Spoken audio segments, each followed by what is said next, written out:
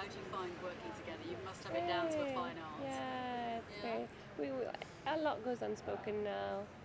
We we know what's working. We know what's good. We know what's not good. What we Uh, think is good. Yeah. No, when scenes are working, it's very evident, and um, and we get along on set. We get along off the set, and it's really no. We could. There's no ego involved, therefore it works. Don't take your arguments into the evening off set. No, no, no, No, no, Film is too important. It's too sacred, and, and we have a very quiet set.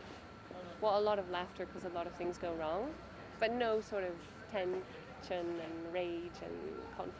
It's not our style. No, we had one, once had a foreign co-producer coming to the set, and she was wondering why is nobody shout here. it's like you know, They're not very there's no need for it really. It doesn't help. oh my god, that's not my idea of marriage. Anyway, Brigitte. Brigitte has been hovering, but it's a pleasure to talk to you. Congratulations. Thank you very much. Yeah. hope you